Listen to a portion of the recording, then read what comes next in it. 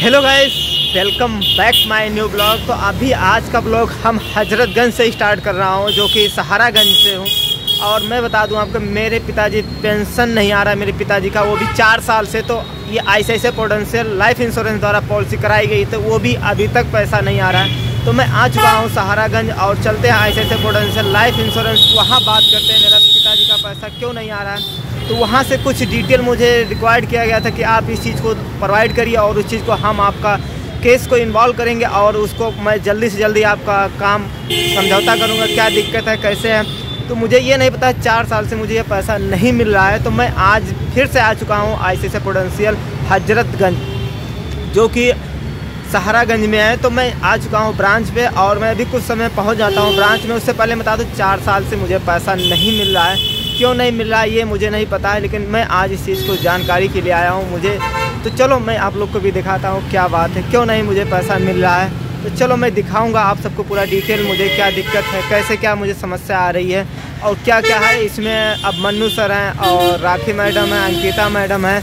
और सुभाष सर हैं, कई सर इसमें, इस चीज़ को मेरे देख रहे हैं तो चलो आज मैं चलता हूँ उस जगह पे और आप लोग को दिखाता हूँ, मुझे अभी हम एनएचडीएल द्वारा जो हमको अप्लीकेशन मैंने फॉरवर्ड किया था मेल किया हुआ था तो उसका रिवर्ट आ चुका है। तो उस रिवर्ट को हमने फ़ोटो कापी निकलवा लिया है और इस रिवर्ट को हम ले चलते हैं ऐसे ऐसे पोटेंशियल वहाँ फिर मैडम को देते हैं क्योंकि उन लोग बोलते हैं कि हम करवाते हैं हमारा कोई रिवर्ट नहीं आ रहा है वहाँ से।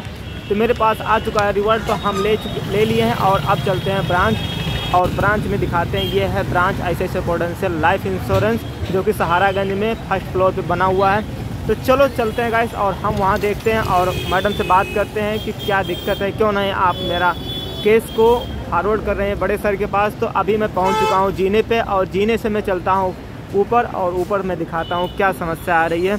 और क्यों नहीं मुझे मिल रहा है पैसा, ये है देख सकते हैं ऐसे पोटेंशियल लाइफ इंश्योरेंस का जीना और इसके सामने ये है ऑफ़िस मैं पहुँच चुका हूँ ऑफ़िस में। तो चलो ये देख सकते हैं, ये है सामने उसके ऑफ़िस अभी यहाँ पे ढेर सारा काम चल रहा है तो चलो चलते हैं और तो चलो वैस अभी मैं आ चुका था यहाँ पे ऐसे पोटेंशियल तो अभी मुझे यहाँ पे एप्लीकेशन मैं दिया हूँ, जो एनएचडीएल से मुझे रिवर्ट मिला हुआ है, जो एनएचडीएल द्वारा एनएचडीएल द्वारा मुझे कराए थे हमने, वो मुझे आया हुआ था तो उस चीज़ का मैं, इनका कोई रिवर्ट नहीं आ रहा था, मैं दोबारा उस चीज़ को यहाँ पे लाके पुनः जमा कर दिया हूँ। तो वो राखी मैडम ले ले लिया है मेरा, और उस चीज़ को आप फॉरवर्ड करेंगे किसी दूसरे सर के पास।